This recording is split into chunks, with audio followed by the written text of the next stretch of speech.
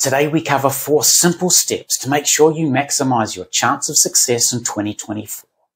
And I'm pretty sure the fourth step is going to be new to you, so make sure you stick around for that.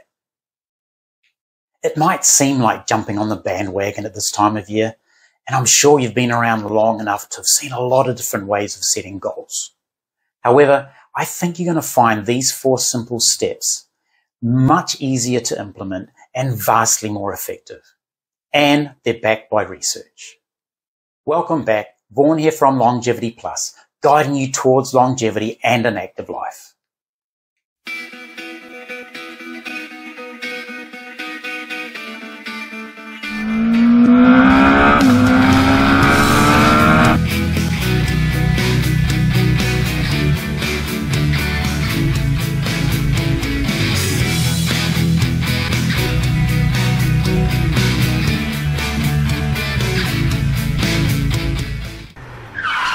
What do you want to achieve this year? Maybe it's to run a marathon. Maybe you want to lose weight. Maybe you want to gain strength or muscle. Whatever your goals are, these four simple steps can help. It could be financial goals or learning a new instrument. In today's video, our example is going to be based around health and well-being and leading an active life. But remember, your goals can be anything. So follow these four steps, maximize your chance of getting your goals achieved. Setting goals in January every year is of course a very common habit. The problem 99% of us face is that we quickly lose focus. We get caught back up on the daily and weekly grind of life.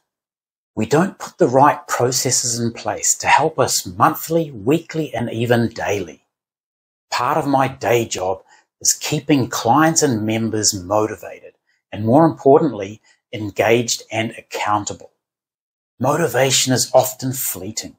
Discipline and accountability is what keeps us on track. To accomplish this, we need meaningful clarity in what we want to achieve. Without this purpose, we will lose focus. Before we dig deeper into step one, I want you to really imagine what would it be like to finally reach a goal? What would you do once you got there? If you need to come back to this later, pause the video, close your eyes, and imagine what that would be like. This process will help you find meaningful clarity in your goal. Saying I want to lose weight or I want to get fitter or stronger is not meaningful or clear enough. We need to add a deeper personal reason to the goal. To do that, we simply add a so that I can to our goal. Here are some examples. I want to lose 30 pound so that I can fit into my mankini. I want to be fitter so that I can run the New York Marathon. 3rd of November, by the way. I want to be stronger so that I can play with my kids or grandkids. Whatever your goal, make it clearer and give it meaning and more deeper on a personal level. This is now your mantra. Write it down where you can see it regularly. Writing things down is an important part of step one. Now, I'm not saying that just simply writing something down, reading it or saying it regularly is going to make it happen. I think I can. I think I can. However, research conducted by Dr. Gail Matthews shows that people who write their goals down are 42% more likely to achieve them. I'll put a link in the description below so you can have a look at that report. Before we move on to step two, you can set more than one goal, but I do recommend three major goals is enough. Any more than three, you're going to get distracted. If you follow these four steps, you're possibly going to reach some of your goals faster anyway, so you can add a new goal before the end of the year. The next step is to break your major goals down into achievable milestones. Research shows that breaking them down into 12 week or three month blocks is the best course of action. From there, break that three month block down into one month segments. Here's an example. If I was the mankini bloke from earlier and I wanted to lose 30 pounds this year, I may have done a little bit of research and learned that we tend to lose weight a little bit faster in the early process. So I reckon I could achieve 10 pound in three months. I break that into one month and it's just, it's a little bit over three pound. Hell, I can do that. So I'm going to write down my milestones as losing four pound every month and make sure you write those down. Here's an example if your goal is for increasing strength. First off, you need to find your baseline strength level. Here's a link in the corner for a video I've already made where you can assess your baseline strength. Your goal over the next three months would be to increase one level. Break down those metrics into one month segments and then you have your milestones for each month. Don't forget, write those down. Now you have these clear milestones or mini goals within your meaningful clarity bigger goal and it's all written hmm. down into achievable smaller chunks. What this does is creates urgency. When you have a big goal that's 8 to 12 months away, it's easy to lose focus and put off those necessary steps that we need to do to achieve that larger goal. By breaking it down, we have regular reminders of what's needed to reach that goal. Urgency creates accountability and discipline.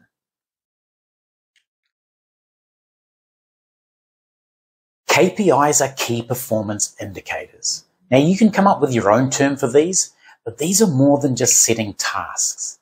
These are tasks with metrics attached.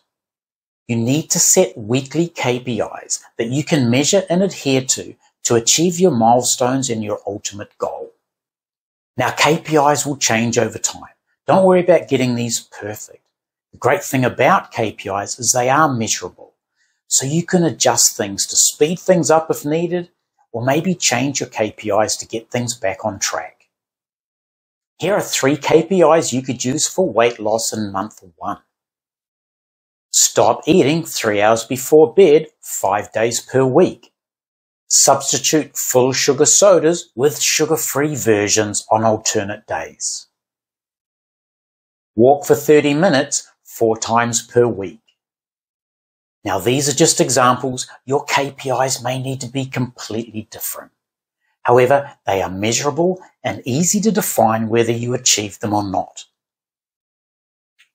If you have trouble setting your KPIs, whether they're health and well-being related or not, I'm happy to try to assist. So you can put a comment below. I'll try to get back to as many as I can, or you can personally email me at the email below.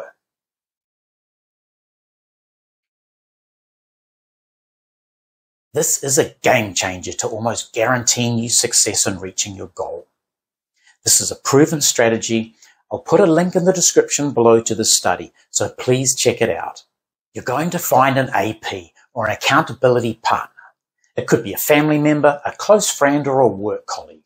Maybe it's a reciprocal deal. Maybe you can be their accountability partner for their goals. Of course, you're going to need to share your KPIs with your AP. Then once a week, preferably on a Friday or Saturday.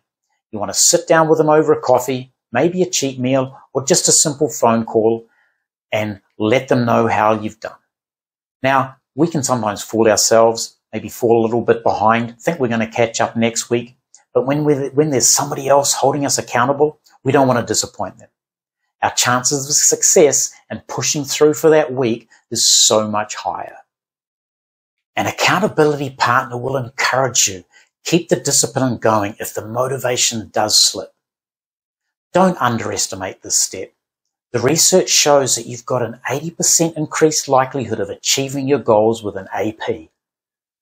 So whatever your goal, I hope you use these four steps to break away from the 99% of normal people and make your goals come to life. If your goal this year is to start a health and well-being journey, but you don't know where to start, download the free Longevity Plus Move and Improve Guide. I'll link it in the description below. It's got all you need to get started. Remember, the goal of this channel is to clarify and simplify so you can take action now. Remove the confusion and possible analysis paralysis. Thanks for watching. Until next time, keep moving, keep improving, and keep your mojo alive. And remember, if you haven't already, please leave a comment below press that subscribe button, press the bell icon so you'll always be notified when a new video is released.